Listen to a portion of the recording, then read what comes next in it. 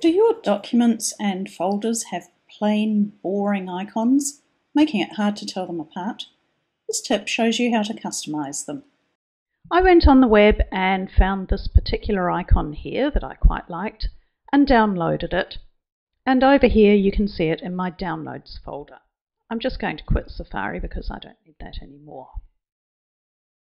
However, once that icon's in your downloads folder, then what do you do with it? How, for example, could I make that first app folder show this icon?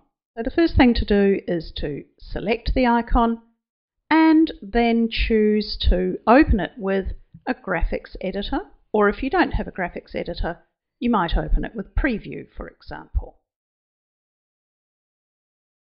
Here it is in Preview. Now you need to actually select that icon.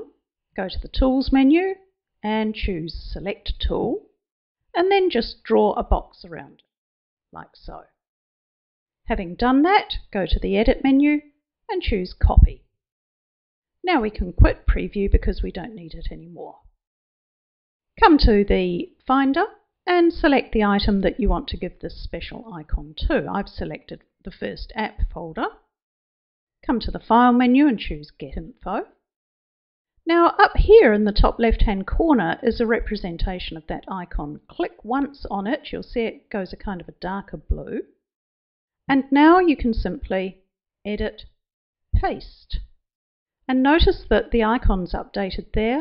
And if you have the little preview section open, then it's updated there as well. And here we are. My folder now has that specific icon. I could have also given it to these files or anything else. If you already have a custom icon, as I have on this uh, alias for DHTML, you can simply select that one Get Info.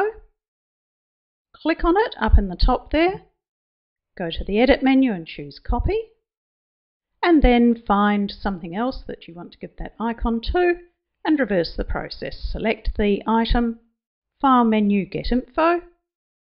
Click on that and paste. And now that particular document also has the same icon. I'm just going to switch for a moment to my home folder. And you'll see that some folders that Apple supplies already have their own unique icons. Suppose I select the music folder, get info. I still have that icon from before on the pasteboard, so I can choose edit paste and it picks up the new icon. To delete an icon you no longer want, just select it, press the delete key on the keyboard, and notice what happens in the case of the music folder. It reverts back to the icon that Apple gave it, and the same would happen with movies and downloads and those other ones. So have a bit of fun. You can draw your own pictures. You don't have to download them from the internet. Uh, but copy the picture in a graphics editor or preview and then paste into the Get Info window. Have fun and let us know how you get on with it.